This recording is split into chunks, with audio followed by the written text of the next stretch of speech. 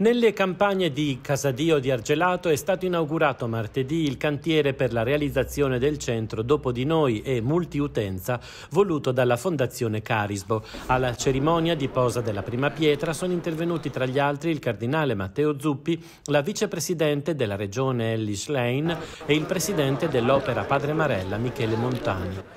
Il cantiere rimarrà aperto per circa 15 mesi e saranno ristrutturati alcuni edifici rurali esistenti nella cosiddetta Corte Palazzo, di proprietà della Fondazione Carisbo, come spiegato dal presidente Carlo Cipolli.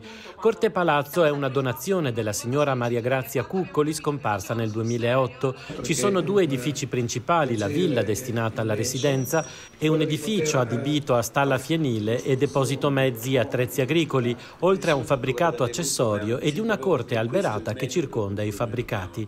Il progetto prevede per i disabili da 4 a 6 posti, oltre a un educatore, per le famiglie in disagio abitativo 12 posti e poi ci sono una sala polivalente, laboratori, un ristorante per 52 persone per tenere anche eventi e iniziative, una abitazione del custode e il parcheggio che conterrà circa 25 automobili.